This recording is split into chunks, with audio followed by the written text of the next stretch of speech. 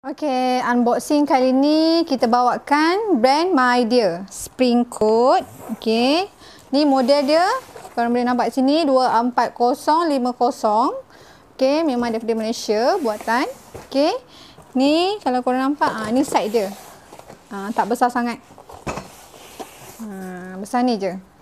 Okay, kalau kata warna tu memang datang uh, chrome color lah. Ha, kalau korang nak tengok macam mana color chrome dia, mari kita buka dia. Kita unboxing kotak ini.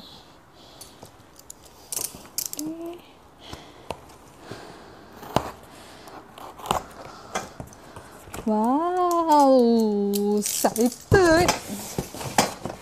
Okay. Ni kita keluarkan.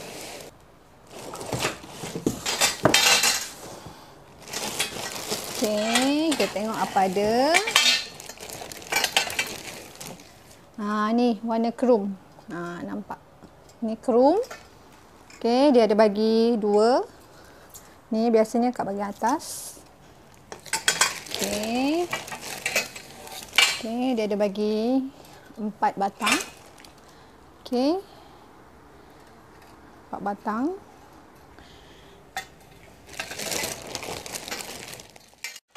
Okey. Ini satu.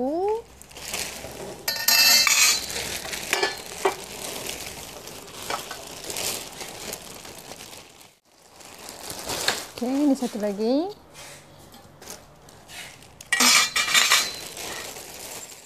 Okey, mari kita buka dalam ni. Dia ada bagi satu plastik lagi.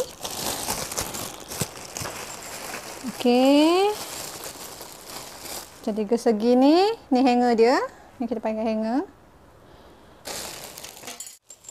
Okay, ni safety belt. Okay. Safety belt.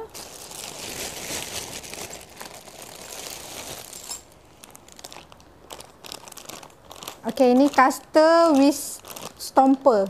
Ha, dia ada empat. Okay, ada empat. And then spring. Okay, ini spring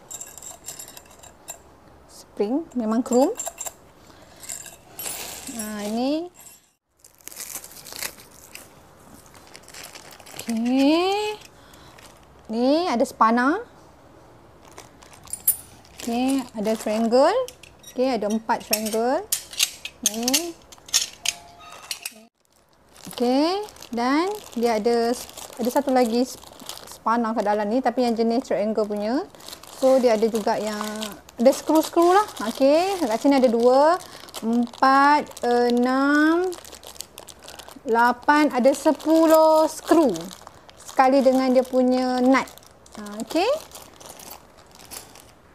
Okey, yang ini yang apa yang kita unboxing tadi daripada box.